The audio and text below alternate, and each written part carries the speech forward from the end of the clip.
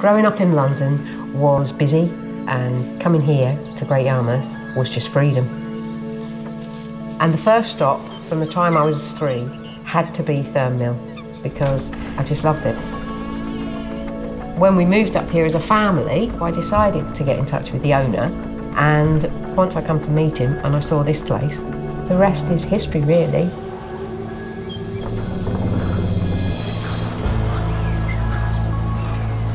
Bob was the owner and an engineer.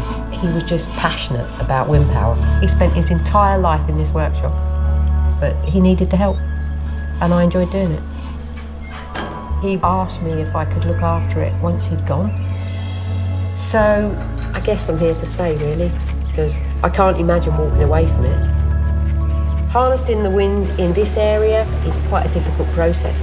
But with Thurne Mill here and Scroby Sand just down the road, you are really covering the history of wind power from the windmills all the way up to the turbines.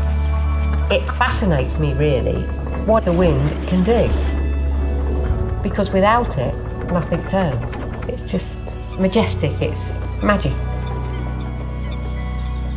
Owning Thurne Mill, having enjoyed it so much as a child, words can't describe it really.